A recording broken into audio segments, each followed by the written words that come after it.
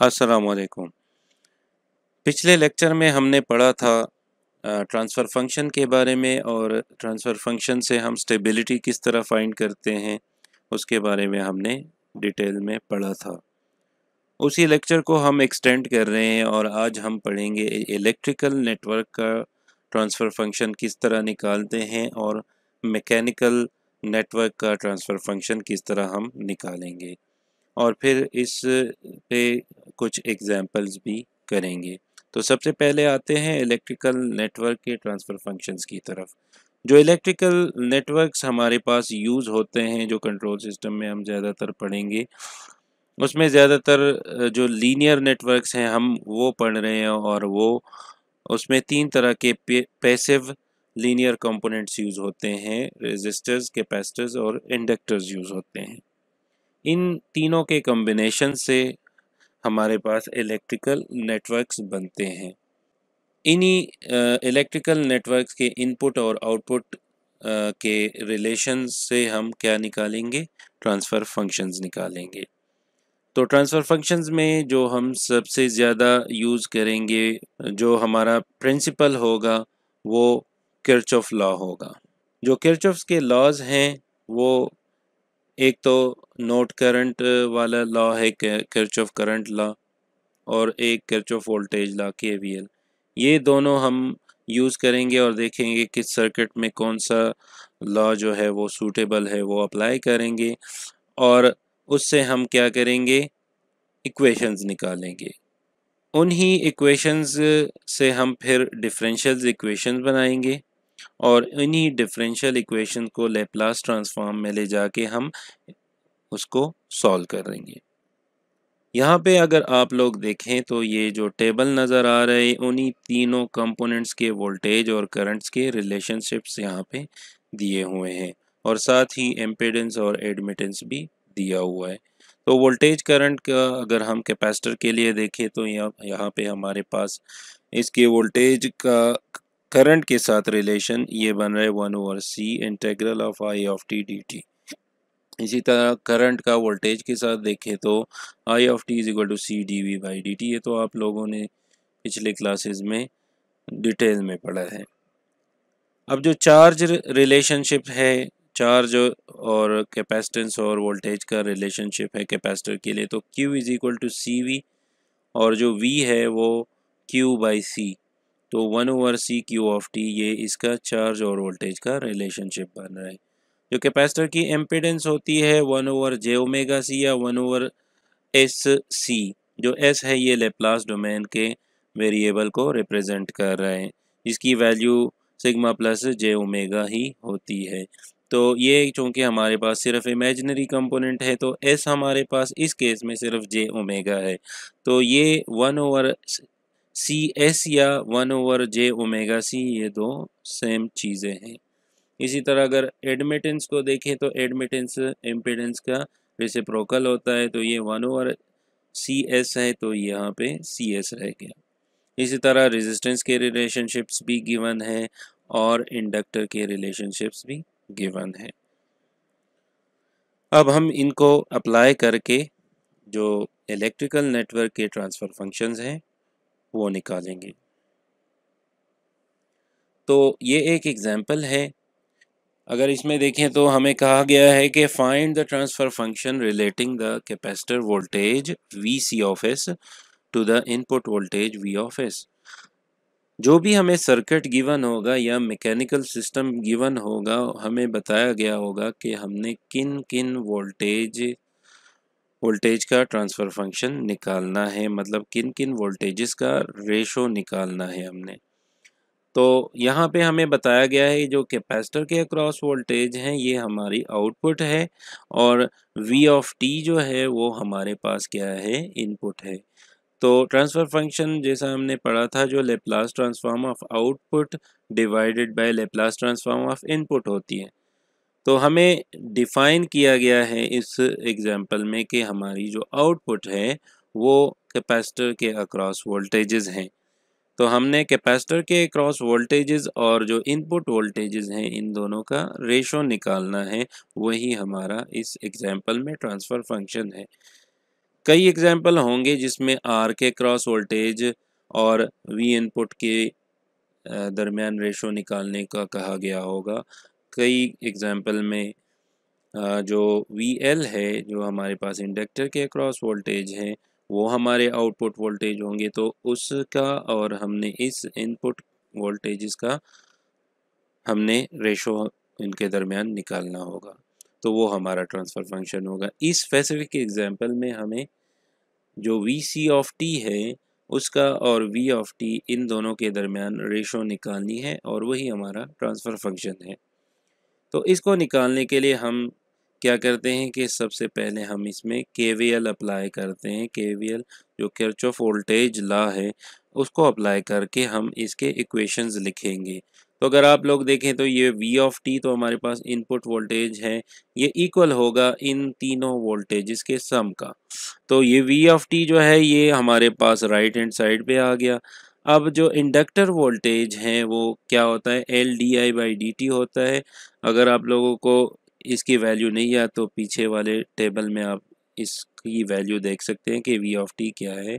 L D I by D T इसी तरह जो आर के अक्रॉस वोल्टेज ड्रॉप होते हैं, वो तो सिंपल ओहम ला से हम निकाल सकते हैं आर आई ऑफ़ टी और जो कैपेसिटर के अक्रॉस वोल्टेज ड्रॉप है, वो क्या है? One over C integral of I of tau D tau तो ये हमारे पास के वी एल अप्लाई हमने कर लिया और इससे इक्वेशंस हमने, जो रिलेशनशिप हैं वोल्टेजेस का, वो हमने निकाल लिया। अब, चूँकि हमें कहा गया है कि हमने ट्रांसफ़र फ़ंक्शन निकालना है, ये वी सी ऑफ़ एस और वी ऑफ़ एस के रेशो का। और इस इक्वेशन में अगर हम देखें तो हमारे पास वी सी ऑफ़ एस नहीं है।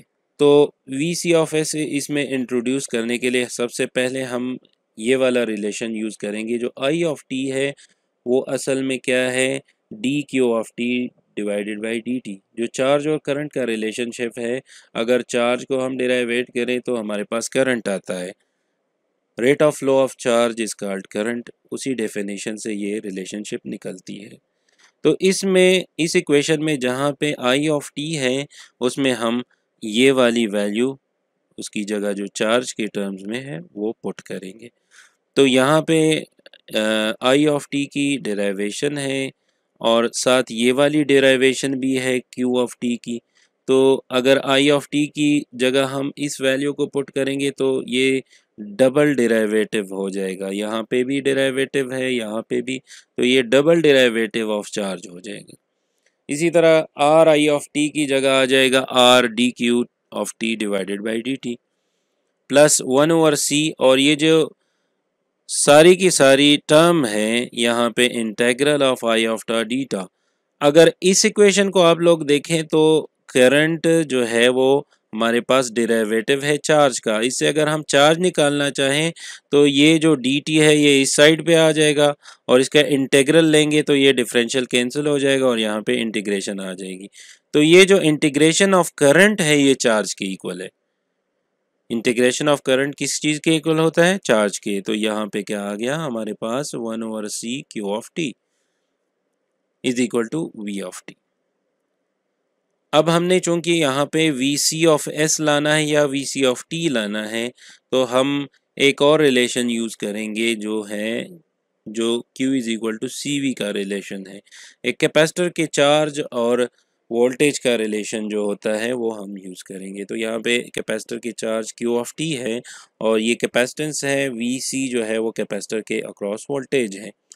तो Q is equal to C V इस रिलेशन को अगर हम इसमें पुट करें, इस वाले इक्वेशन में क्यू ऑफ़ टी की जगह ये वाली वैल्यू पुट करें तो क्यू ऑफ़ टी की जगह यहाँ पे क्या आ जाएगा? C V C of T ये सी बाहर आ गया और V C of T derivative के अंदर रह गया। इसी तरह इस क्यू ऑफ़ टी के जगह भी हम पुट करेंगे C V C of T तो ये R C D V C of T divided by D T रह जाएगा। इसी तरह अगर हम यहाँ पे C V C of T put करेंगे तो जो सी है वो इस सी के साथ कैंसिल हो जाएगा और हमारे पास वी सी ऑफ़ टी रह जाएगा, जो इक्वल है वी ऑफ़ टी के। तो ये हमारे पास जो रिलेशन आ गई, जो फाइनल हमें चाहिए टाइम डोमेन में, वो रिलेशन हमने अचीव कर ली। हमने पहले क्या लगाया? केवीएल लगाया, फिर उसमें जो रिलेशनशिप्स हैं करंट वोल्टेज और चार्ज के, वो लगा के हमने ये रिलेशनशिप अचीव कर ली। अब हम क्या करेंगे? इस रिलेशनशिप का लेप्लास ट्रांसफॉर्म लेंगे। इसका हम क्या लेंगे? लेप्लास ट्रांसफॉर्म लेंगे। तो जो डेरिवेटिव का लेप्लास ट्रांसफॉर्म है, वो पिछले लेक्चर में हमने पढ़ा था कि डेरिवेटिव का लेप्लास ट्रांसफॉर्म किस तरह लेते हैं? तो अगर आप लोगों को कोई मुश्किल हो रहा है तो वो लेक्चर आप लोग दोबारा देख लें। तो अगर लेप्लास ट्रांसफॉर्म हम इसका लेंगे तो हमारे पास ये वाली रिलेशनशिप आ जाएगी। तो ये हमारे पास लेप्लास डोमेन में जो रिलेशन है, जो पिछला इक्वेशन हमने देखा था पिछली स्लाइड में, वो हमारे पास लेप्लास डोमेन में आ गया।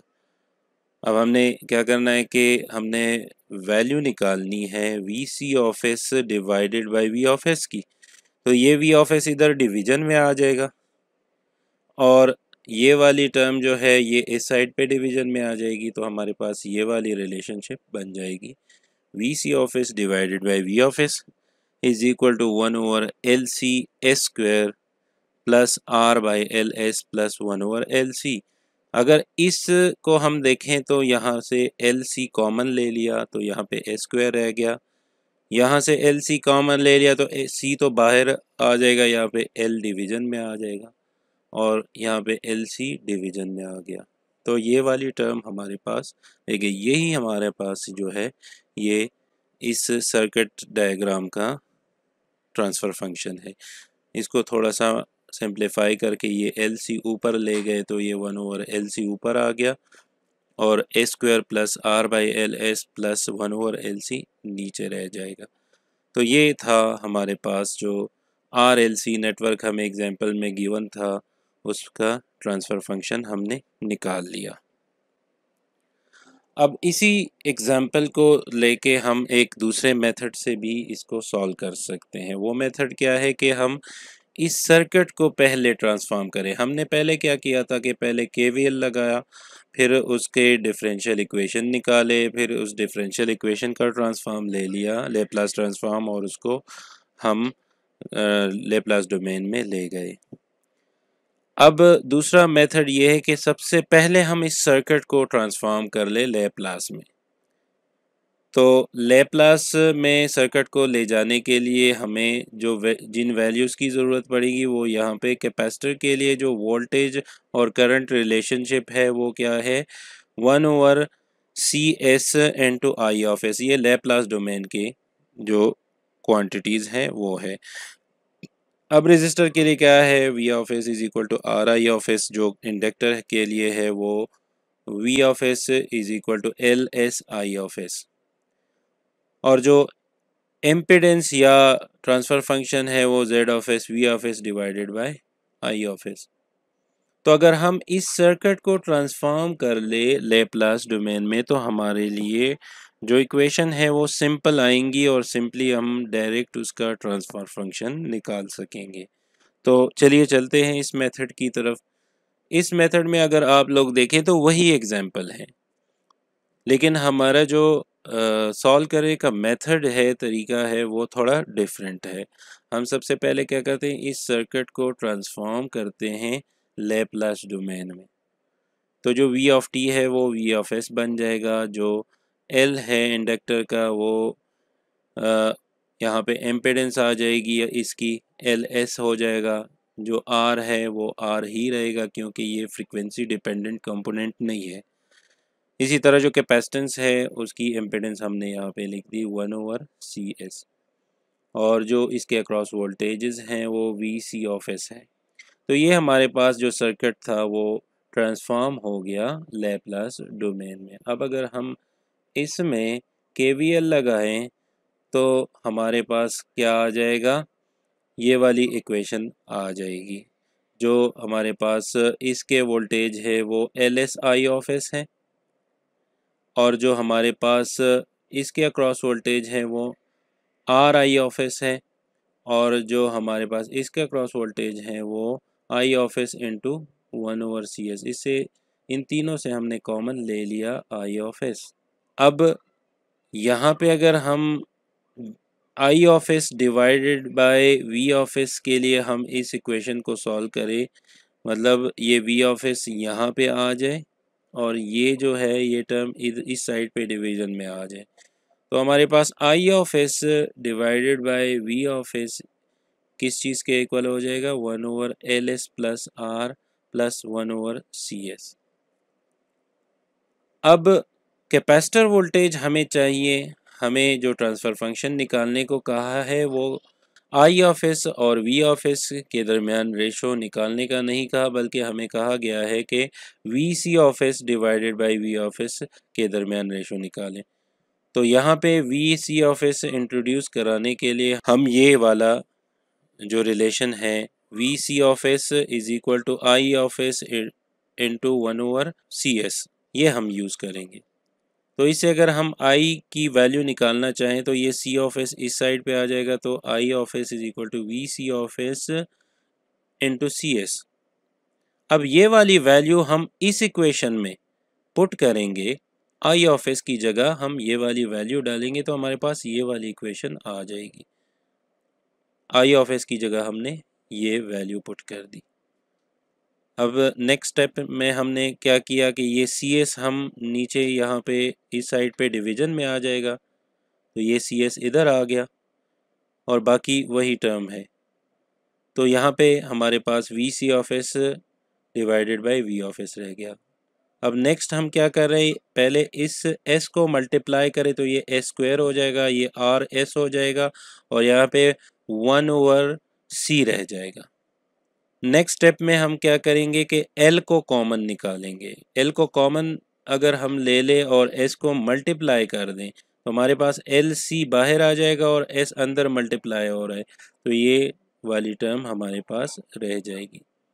तो ये हमारे ट्रांसफ़र फ़ंक्शन है हमारे सर्किट का, जो कि हमने पिछले मेथड में भी यही ट्रांसफ़र फ़ंक्शन निकाला था और इस मेथड से भी ये ट्रांसफ़र फ़ंक्शन आ रहा है। इस मेथड में फ़ायदा क्या हुआ कि हमें जो डिफरेंशियल इक्वेशन है, उसमें नहीं जाना पड़ा, बल्कि हमने सर्किट को ट्रांसफॉर्म कर लिया तो हमें लेप्लास डोमेन में ही उसके इक्वेशन मिल गए, जो कि सिंपल अल्जेब्रिक इक्वेशन होते हैं। तो ये वाला मेथड ज़्यादा सिंपल है, वो डिफरेंशियल इक्वेशन वाले मेथड से। अब आते हैं मैकेनिकल सिस्टम के ट्रांसफ़र फ़ंक्शन की तरफ़। तो मैकेनिकल सिस्टम में भी इलेक्ट्रिकल नेटवर्क्स की तरह तीन पैसिव लीनियर कंपोनेंट्स यूज़ होते हैं। और वो कौन कौन से हैं? एक स्प्रिंग है, एक मास है और एक विस्कस डैम्पर है।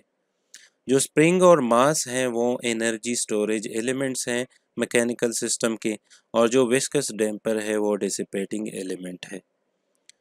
जो स्प्रिंग है, वो कैपेसिटर के एनालॉगस है मतलब जिस तरह इलेक्ट्रिकल नेटवर्क में कैपेसिटर का बिहेवियर होता है और उसके इक्वेशंस होते हैं, उसी तरह के इक्वेशंस जो है वो स्प्रिंग के भी होते हैं। और जो मास है, वो एनालॉगस है इंडक्टर के मतलब जिस तरह इलेक्ट्रिकल नेटवर्क में इंडक्टर का बिहेवियर होता है, उसके डिफरेंशियल इक्वेशन जिस तरह निकलते हैं, उसी तरह मास के आते हैं। और जो डैम्पर है, जो विस्कस डैम्पर है, वो एक रेजिस्टर की तरह बिहेव करता है, जो कि डिसिपेटिंग एलिमेंट है तो विस्कस डैम्पर रेजिस्टर की तरह होता है इलेक्ट्रिकल नेटवर्क के रेजिस्टर की तरह। यहाँ पे ये जो टेबल दिखाया गया है transnational mechanical system transfer function का तो इसमें हर एक एलिमेंट के force velocity force displacement equation given है, और साथ ही इम्पेडेंसेस भी गिवन है। यहाँ पे जो ये के है, ये हमारे पास स्प्रिंग कांस्टेंट है। जो हमारे पास v ऑफ़ टी है, ये वेलोसिटी है। जो x ऑफ़ टी है, ये डिस्प्लेसमेंट है। और ये जो f ऑफ़ टी है, ये मैकेनिकल फोर्स है। तो हमारे पास कौन कौन से टर्म्स आ गए? Mechanical force spring constant velocity mechanical velocity और जो मैकेनिकल डिस्प्लेसमेंट है एक्स ऑफ़ टी ये वाली टर्म्स इसमें आ गई। जो एफ़ वी है, ये विस्कस कोएफिशिएंट है। ये हमारे पास जो विस्कस डेम्पर का कोएफिशिएंट है, वो एफ़ वी है और जो एम है, वो मास को रिप्रेजेंट कर रहे इस टेबल को अगर हम देखें तो हमारे पास जो मैकेनिकल फोर्स है, वो इलेक्ट्रिकल नेटवर्क के वोल्टेज की तरह बिहेव करता है। तो ये एनालॉगस हो गया वोल्टेज के। अगर हम वेलोसिटी को देखें वी ऑफ़ टी को तो ये एनालॉगस है इलेक्ट्रिकल नेटवर्क के करंट के। अगर हम एक्स ऑफ़ टी जो डिस्प्लेसमेंट है, जो मैकेनिकल डिस्प्लेसमेंट है, उसको देखें तो ये एनालॉगस है किस चीज़ के? हमारे पास इलेक्ट्रिकल चार्ज के। और ये तीनों कंपोनेंट तो हमने पहले ही देख लिए तो कि ये स्प्रिंग जो है वो कैपेसिटर के एनोलॉगस है मतलब उसी की तरह बिहेव करता है। विस्कस डैम्पर जो है वो रजिस्टर की तरह होता है और मास जो है वो इंडक्टर की तरह बिहेव करता है। अब आते हैं इसकी एग्ज़ाम्पल की तरफ़ तो उससे पहले हम स्टेप्स देख लेते हैं कि ट्रांसलेशनल मैकेनिकल सिस्टम के ट्रांसफ़र फ़ंक्शन को किस तरह कैलकुलेट करेंगे।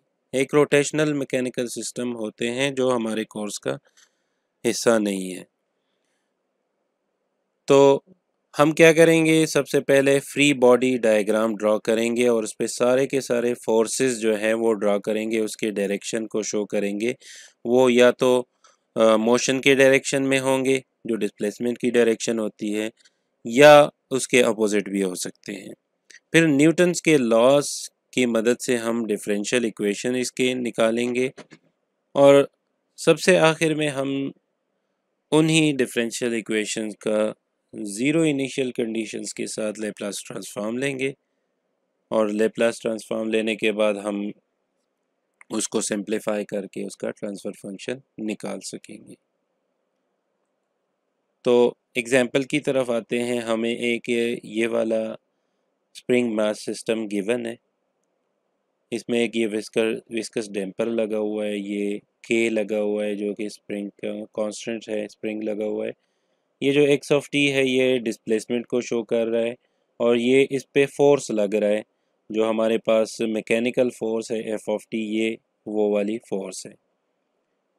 तो हमें कहा गया है कि find the transfer function x of s divided by f of s x of s ये डिस्प्लेसमेंट है एफ़ ऑफ़ एस जो है, ये एफ़ ऑफ़ टी ये हमारे पास मैकेनिकल फोर्स है। इन दोनों की रेशो हमने निकालनी है इस सिस्टम के लिए। तो हम सबसे पहले क्या करेंगे? फ्री बॉडी डायग्राम इसका ड्रॉ करते हैं। तो फ्री बॉडी डायग्राम यहाँ पे ड्रॉ किया हुआ है। फ्री बॉडी डायग्राम में हम ये एलिमेंट्स नहीं लगाते, बल्कि इनके फोर्सेस सिर्फ़ लगाते हैं।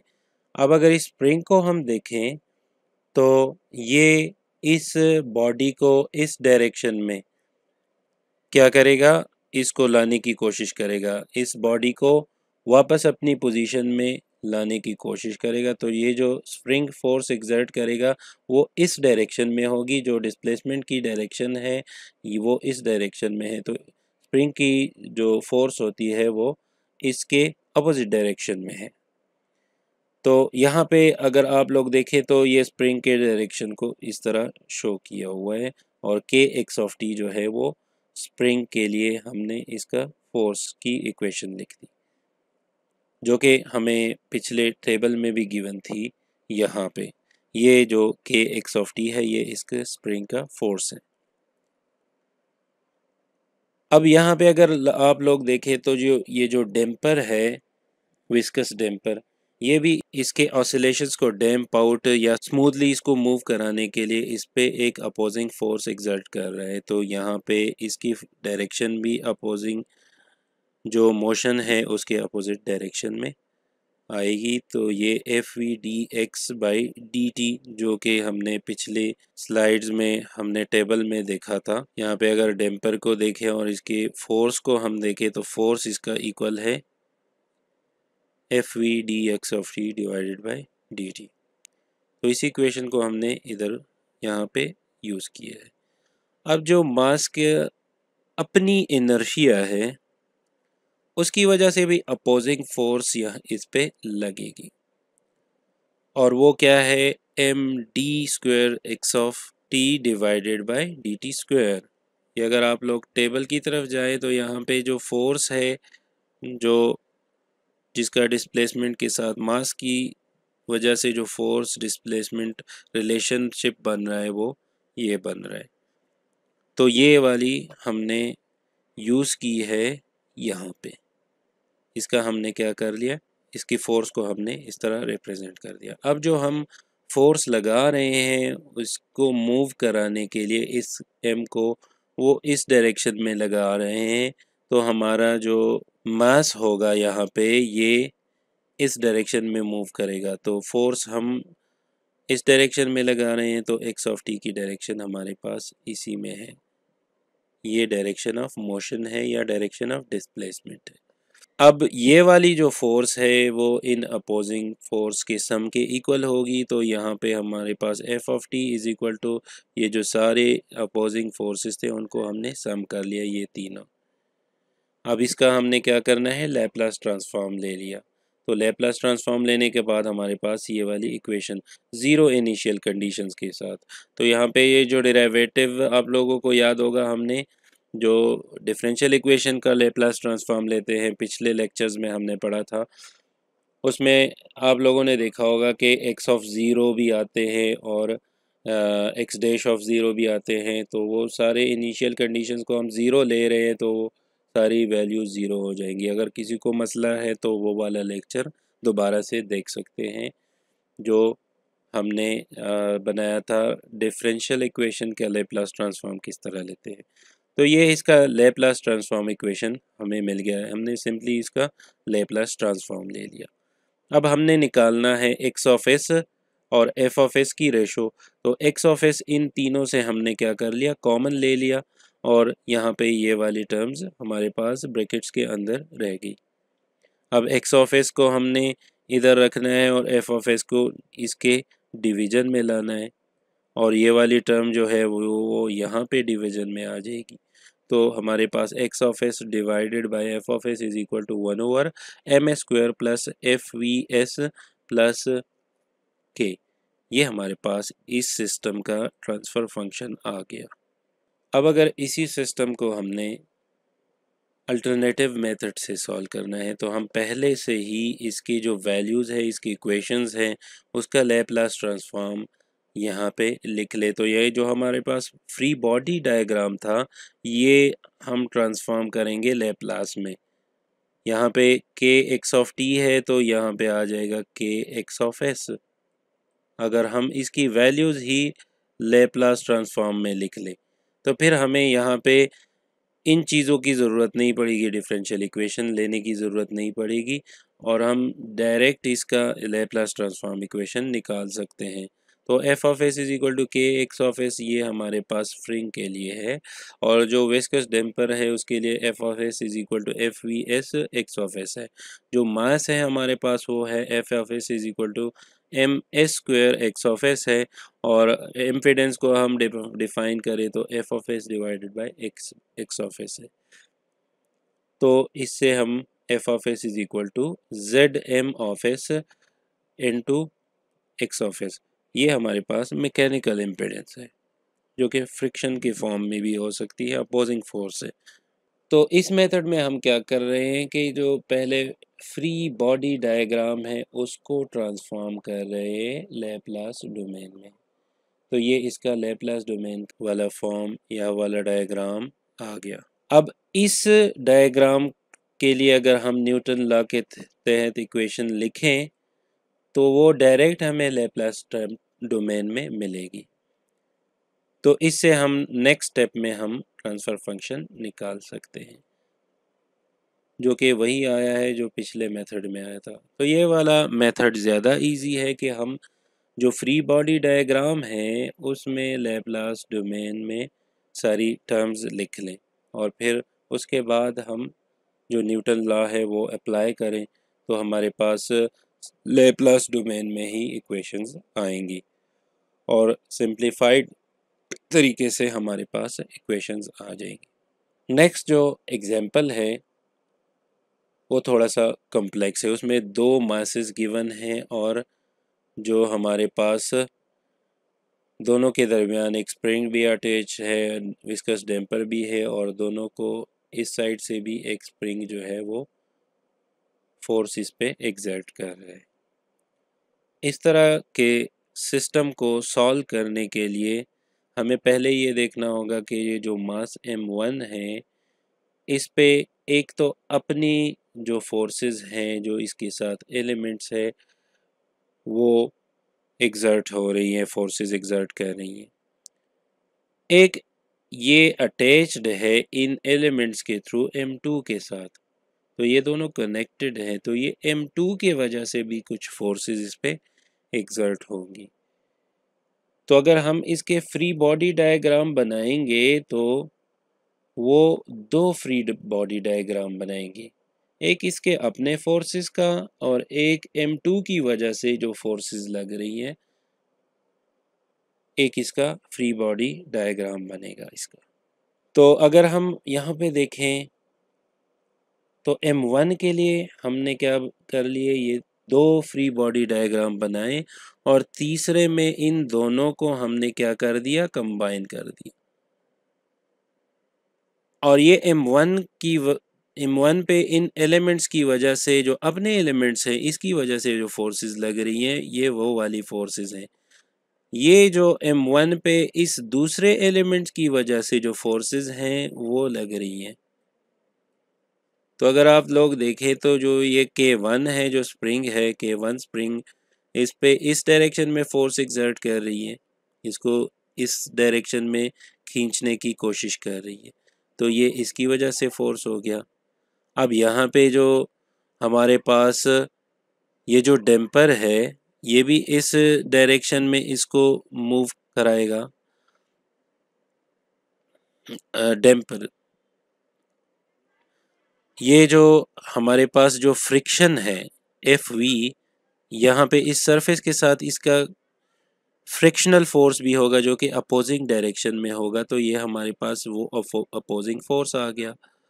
इस पे इनपुट फोर्स अप्लाई हो रही है मैकेनिकल वो एफ़ ऑफ़ टी है तो ये इसका लेप्लास हमने यहाँ पे लिखा और ये चूँकि इस को पुश कर रही है तो यहाँ पे इसकी डायरेक्शन इस इस तरफ़ हो जाएगी। मोशन के डायरेक्शन में है।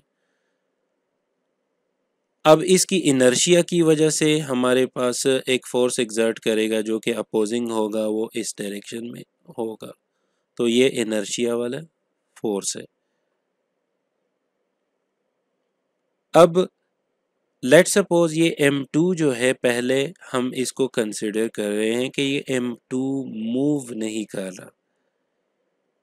तो अगर ये मूव नहीं कर रहा तो ये दोनों एलिमेंट्स जो है, ये के टू इस डायरेक्शन में इस इस पे फोर्स एग्जर्ट करेगा और ये वाला जो है, ये जो विस्कस डैम्पर है, ये इस डायरेक्शन में इस पे फोर्स एक्सर्ट करेगा।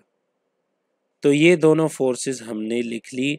ये तब है जब हमारे पास M2 मूव नहीं कर रहा। दूसरे जो B फिगर है, इसमें हम कंसिडर कर रहे हैं कि ये जो M2 है, ये मूव कर रहा है।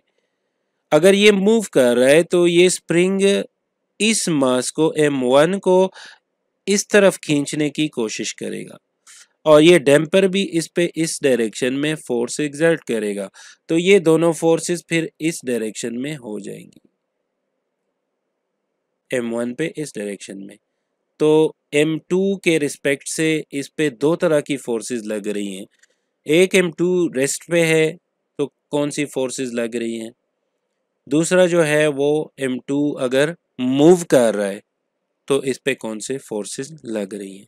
अब इन दोनों को अगर हम कंबाइन करके एक फिगर बनाना चाहें तो इसमें से जो कॉमन चीज़ें हैं, हम वो एक टर्म में मर्ज कर सकते हैं। तो ये एक्स वन ऑफ़ एस है और यहाँ पे क्या है हमारे पास? जो दूसरा एक्स वन ऑफ़ एस है वो यहाँ पे है। तो इनको कंबाइन कर लिया तो यहाँ पे ये वाली टर्म आ गई। इसी तरह जो एफ़ वी वन है वो एफ़ वी थ्री के साथ कंबाइन हो जाएगा ये वाली टर्म और ये वाली टर्म तो उनको कंबाइन करके हमने ये टर्म बना ली।